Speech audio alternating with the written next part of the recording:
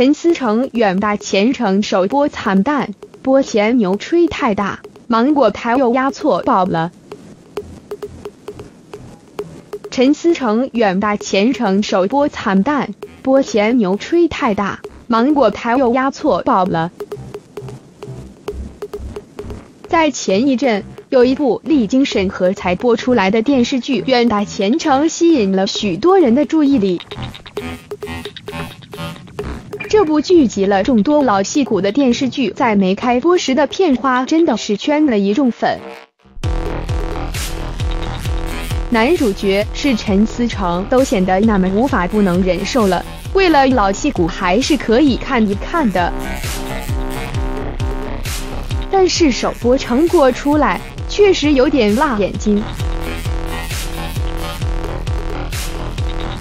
先不说，连之后推到十点档播出的《凤求凰》都赶不上，就连被大家说扑街的《南方有乔木》还差着那么一点。最可怕的是第一集没啥剧情，你说看的人比较少也能理解。之后两集剧情已经开始进展了，但是收视率不降反跌。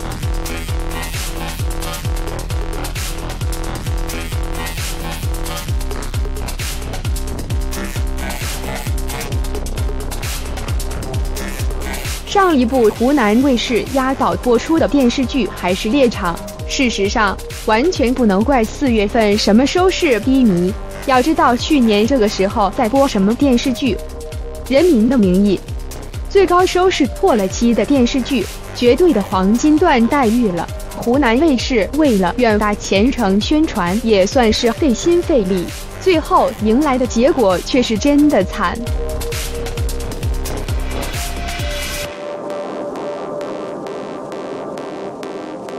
因为有《唐人街探案二》的成绩在前，加上这么多老戏骨配置，看起来很是能火爆的平台。陈思诚写完这个本子之后，要求自己当主角，而不是别的演员来演的行为，确实能让人理解。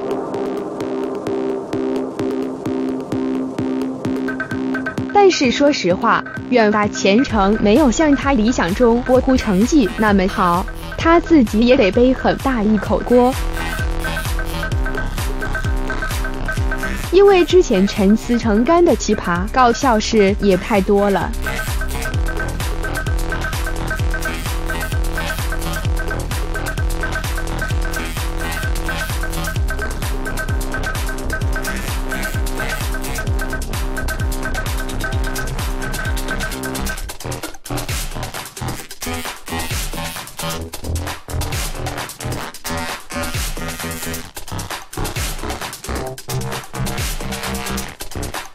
而且陈思诚也有经典语录，诸如“我可没有被女人伤过，我只伤过女人”，骄傲也是一种气质。哎呀妈呀，影视平均打出来都有点牙酸。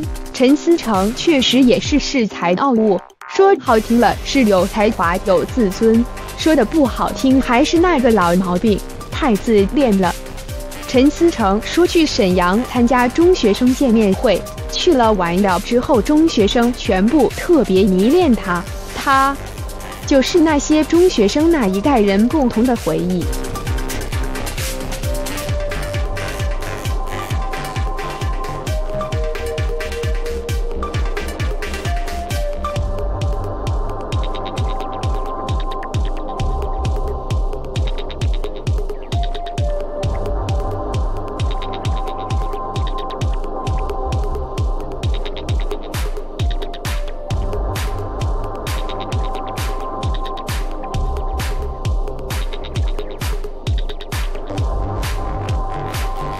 到这里，真的不能怪台下观众不礼貌，真的是忍不住笑了。而且陈思诚还说过自己长得像郭富城，不应该是比郭富城更加清秀一些些，真的是难为陈思诚了。这话说的完全听不出来是自夸呢还是自黑啊。其实陈思诚一直都是这样，自己都承认自己帅是我给人扑面而来的印象。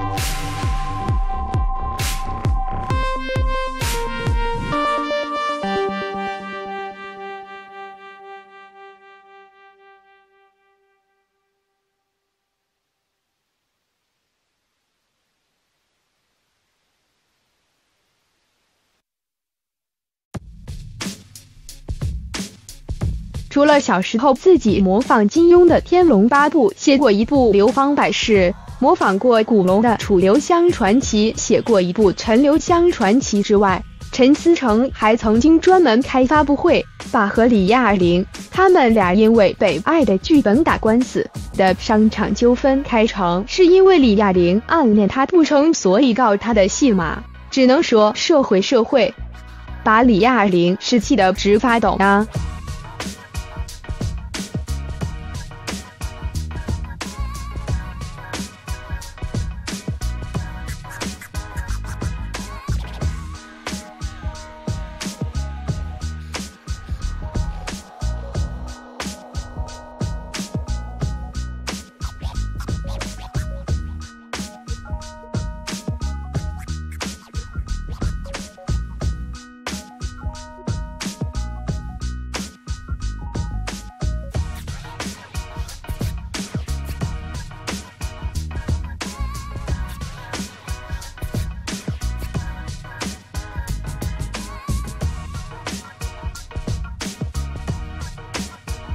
而且当时的杨幂这话看起来也是让人有点无语，说陈思诚以前不靠谱，万一以后靠谱了呢？合着佟丽娅结婚在这碰运气呢？